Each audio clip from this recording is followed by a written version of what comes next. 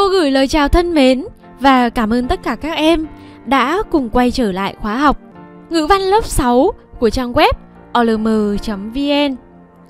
Cô trò chúng mình sẽ tiếp tục tìm hiểu bài tri thức ngữ văn của bài học khác biệt và gần gũi. Trong video phần thứ nhất, các em đã tìm hiểu được về khái niệm của văn bản nghị luận và các yếu tố cơ bản của văn bản nghị luận. Kế tiếp, chúng mình sẽ cùng tìm hiểu những đặc điểm của trạng ngữ. Cô trò chúng ta nhắc đến bốn nội dung liên quan đến trạng ngữ, đó là khái niệm, đặc điểm, tác dụng và phân loại trạng ngữ. Nói tới khái niệm trạng ngữ, với những hiểu biết từ chương trình tiểu học, theo em trạng ngữ là gì?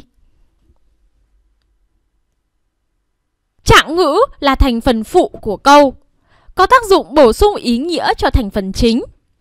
Trạng ngữ được thêm vào câu nhằm mục đích xác định nơi trốn, thời gian, mục đích, nguyên nhân, cách thức hay là phương tiện diễn ra sự việc, hành động trong câu.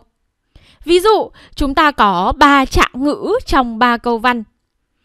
Phần trạng ngữ đã được tô đậm màu đen. Câu thứ nhất, Tết năm nay em được ba mua cho chiếc áo mới rất đẹp. Chúng ta có trạng ngữ chính là Tết năm nay. Câu văn thứ hai, con thuyền trôi lênh đênh trên dòng sông vắng. Trên dòng sông vắng chính là trạng ngữ của câu văn này. Và câu cuối cùng, hôm qua Lan Anh đã xin phép nghỉ học vì bạn ấy bị ốm. Từ hôm qua chính là phần trạng ngữ. Sau khi đã có khái niệm thế nào là trạng ngữ, chúng ta cùng nhắc đặc điểm của trạng ngữ. Trạng ngữ có một số đặc điểm như sau. Nói về số lượng, trong một câu văn có thể có một hoặc cũng có thể có rất nhiều trạng ngữ. Nói về vị trí của trạng ngữ, theo em, trạng ngữ có thể đứng ở những vị trí nào trong câu? Trạng ngữ có thể đứng ở đầu câu, ở cuối câu hoặc ở giữa câu. Nhưng phổ biến nhất là đứng ở đầu câu. Dấu hiệu nhận biết của trạng ngữ Khi viết, giữa trạng ngữ với thành phần chính của câu thường ngăn cách nhau bằng một dấu phẩy. Còn khi nói, giữa trạng ngữ với thành phần chính của câu thường được ngăn cách nhau bằng một quãng nghỉ. Với những đặc điểm như vậy, trạng ngữ có tác dụng gì? Ngay ở phần khái niệm, em thấy được trạng ngữ giúp xác định nêu thông tin về thời gian, địa điểm, mục đích, cách thức của các sự việc được đề cập đến trong câu.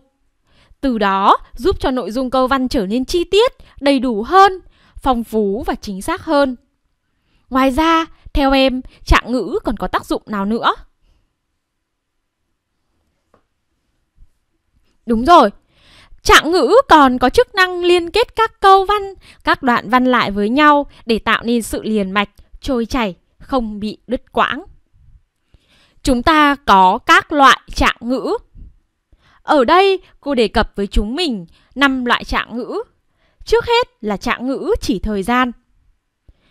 Như tên gọi của nó, trạng ngữ chỉ thời gian làm rõ thời gian diễn ra của sự việc, của hành động được đề cập đến trong câu. Trạng ngữ chỉ thời gian sẽ trả lời cho các câu hỏi như là khi nào, mấy giờ, bao giờ. Loại thứ hai là trạng ngữ chỉ địa điểm, nơi trốn.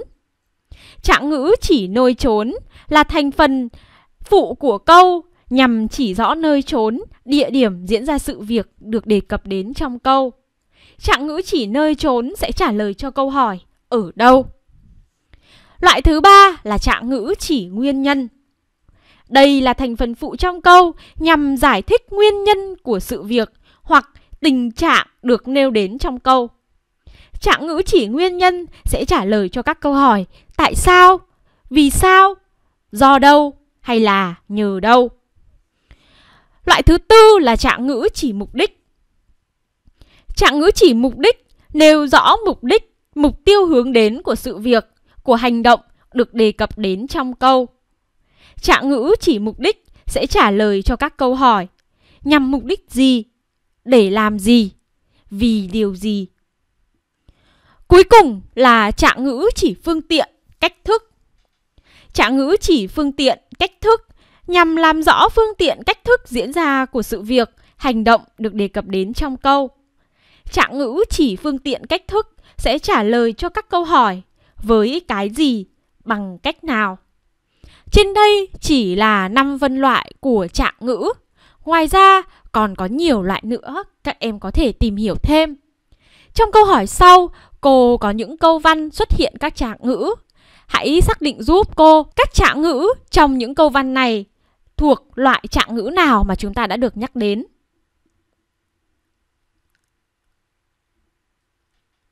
Cô cảm ơn các em đã cùng thực hành rất tốt. Phần cuối cùng trong bài tri thức ngữ văn, chúng ta nói đến tác dụng của lựa chọn từ ngữ và cấu trúc câu đối với việc thể hiện nghĩa của văn bản. Các em lưu ý nhé, để thể hiện một ý, chúng ta có thể dùng những từ ngữ khác nhau, những kiểu cấu trúc câu khác nhau. Và khi tạo lập một văn bản, người viết thường xuyên phải lựa chọn từ ngữ hoặc cấu trúc câu phù hợp để biểu đạt chính xác, hiệu quả nhất điều mình muốn nói. Nắm bắt được tác dụng của việc lựa chọn từ ngữ và cấu trúc câu đối với việc thể hiện nghĩa của văn bản. Các em sẽ lưu ý để sử dụng từ ngữ một cách chính xác, làm cho văn bản của mình có ý nghĩa hay hơn, chân thực hơn. Và những nội dung này chúng ta sẽ được nhắc đến, tìm hiểu, thực hành trong những bài học tiếp theo. Còn bây giờ, video bài giảng xin phép được dừng lại tại đây. Cô chân thành cảm ơn các em đã chú ý theo dõi. Hẹn gặp lại tất cả chúng mình trong những bài giảng tiếp theo trên trang web olm.vn.